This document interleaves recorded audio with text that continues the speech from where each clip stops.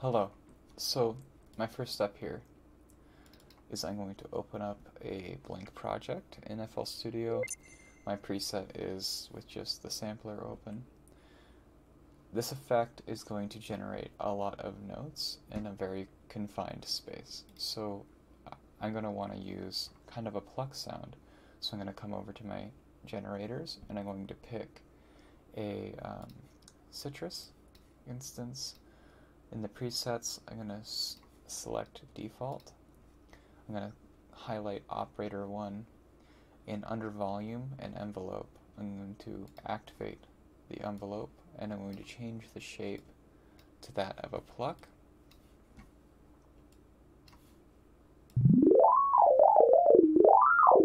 Great. So next step, we come into piano roll. We're going to highlight the region of piano roll. I'm going to set it to 180 because that's where I'm most comfortable. We're going to highlight the region of piano roll that we want to generate the random randomness. For your snap to grid, you could probably get away with using none. I'm going to use one six step because that's what I like. Yields the best results for me. Come to randomizer. Oh, yeah. So with this, I recommend playing it and then coming in and hitting randomizer because it's going to freeze up your interface so you can't really play it. Cool. Problem. It's going to sound like this when you first boot it up. That doesn't sound great. so I'd pick one of these minor sevenths that works. Population will adjust the amount of notes in the given selection that you've made. Stack, I think stack will render another 100% of the random uh, chord selection that you've made here, and then it'll stack another instance of that depending on your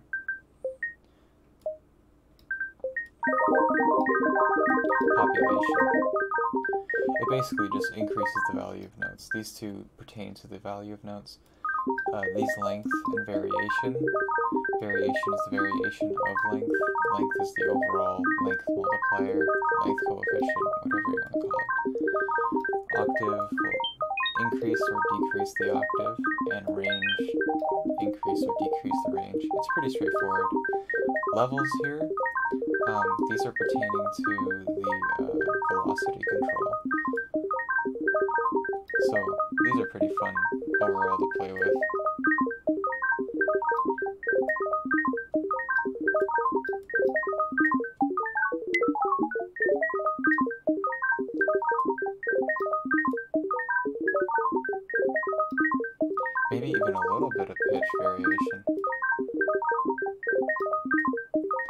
So there's a lot of fun tools to play with here. This seed is arguably the most important part of this, this seed and these note selectors. So now that I've got something that I like, I'm going to come over to the next region in my piano roll that I would like there to be chords. I'm going to, again, start that little wrench. I guess the keyboard shortcut's Alt-R, but I don't really use keyboard sh shortcuts too much. Come in here, one six step, randomize. Again, so we have that minor seventh, but it sounds the same, you'll notice, as the previous, so you can change the C. I'm gonna come in here, I'm gonna choose uh, major seven. Beautiful. Maybe increase the population a little bit it's going to keep these levels enhancements. Um, secret power of this, what if you don't want, what if you're making a drum loop and you just want to change the randomization of your uh, velocity? Or you don't want to touch the velocity.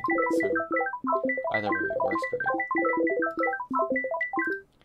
Um, an important note, let's say the chord that you want to use isn't necessarily in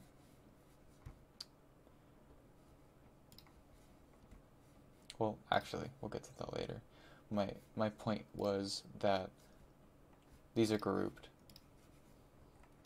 So if you try to move them, it's going to move them all at once. The way to get rid of that is to control A, group, ungroup.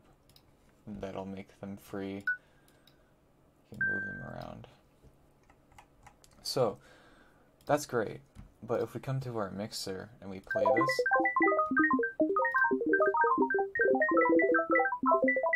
we can notice that it's quickly saturating the sound. Um, it's, it's, it's, you know, there's a lot, there's a lot going on here.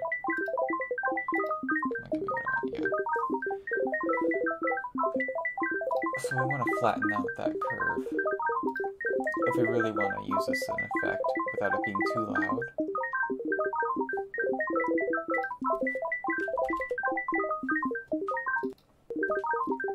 I'm going to use the Kilohearts compressor, but you could use literally anything just to compress it. That makes it a little easier on the ears. You could also just turn down the volume. That helps as well. So that's great. So we now we have this this sound.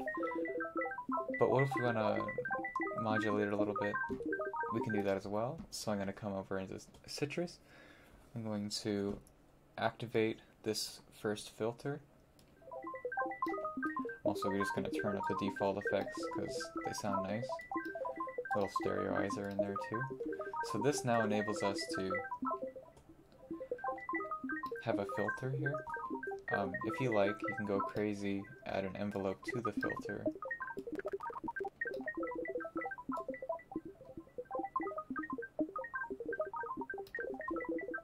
Maybe even another generator.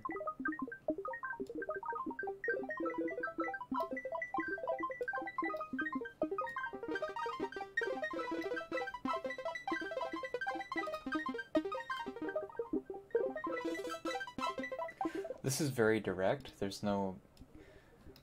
It's not very spacey yet. So what we can do is we can go and add some delay.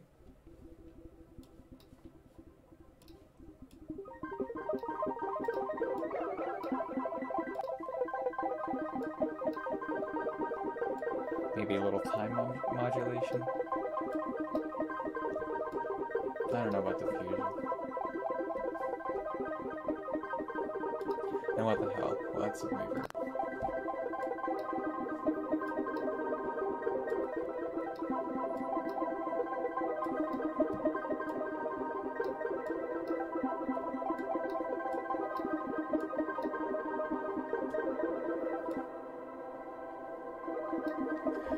Great, so we have this sound now, and we change the cut.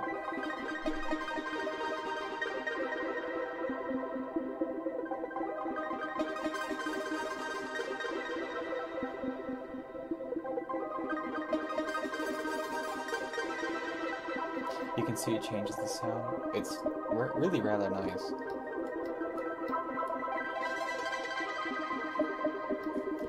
Um, another symptom of this is is a lot of you can see it's hovering dangerously in one spot of our dynamic range, so probably get rid of that.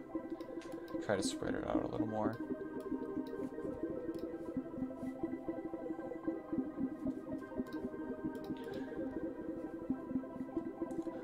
Another reason why to use FL Studio, you can populate two monitors with your windows instead of just one, so it's not so cluttered.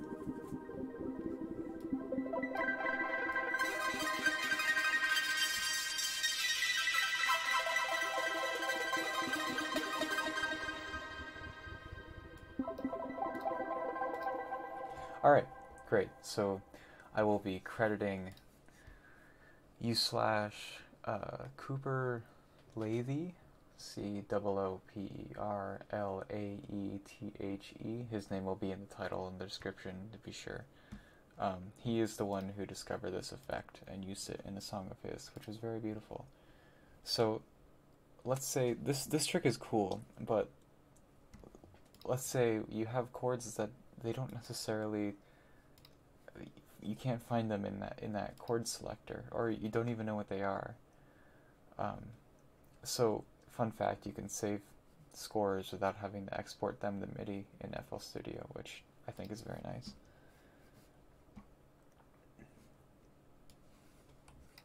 So, right here I've got um, a score of chords.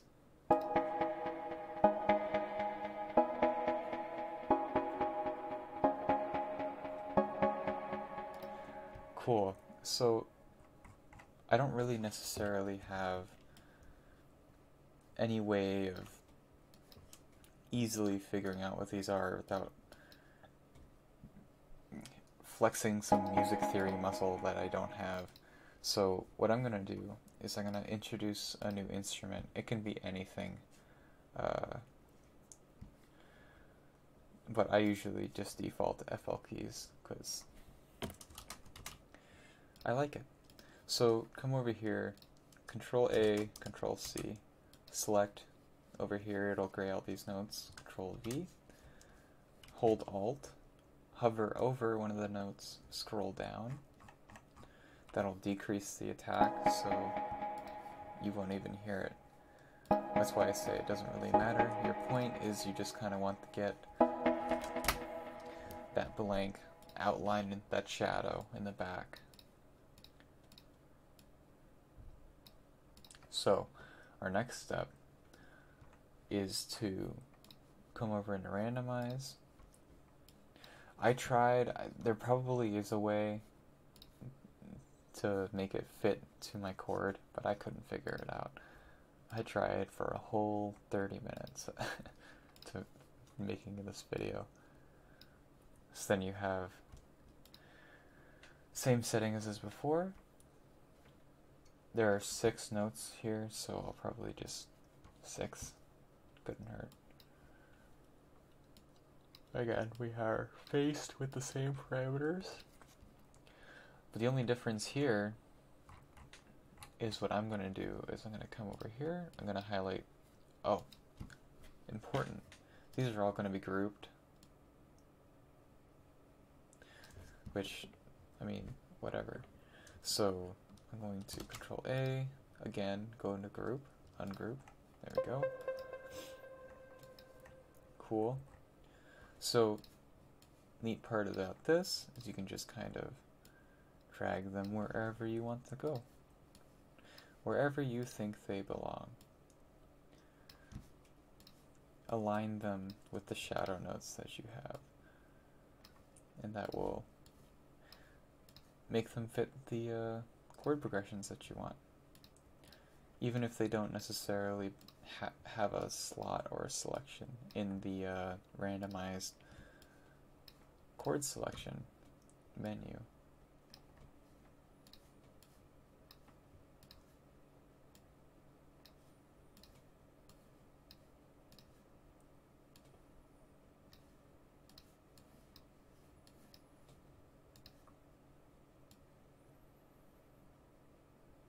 Guess you kind of have to. No, it's like Miss Mr. Potato, Mr. Potato Head mixing here.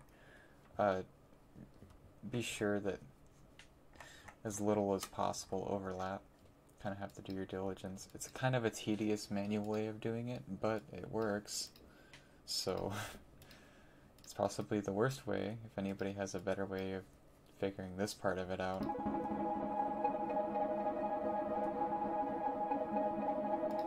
But that's that uh, twinkle effect. It'll probably work better with other generators other than Sytrus. Probably works well with Serum too. If I can find it. I always hate this menu because I lose my plugins or if I update FL Studio.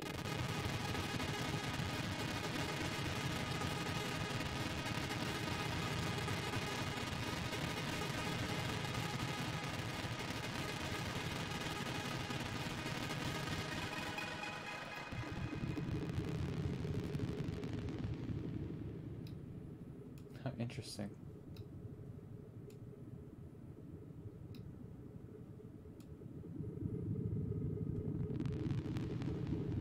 Serum does have that issue. If you decrease the attack to zero, it'll click. Sytrus doesn't have that issue. Anyway, that's basically the end of this tutorial. That's the uh, sparkle effect, twinkle effect, um, by u slash Cooper Leavy. But I mean, FL Studio ImageLine makes the software, so. Anyway, thank you to him for discovering it, and thanks for watching.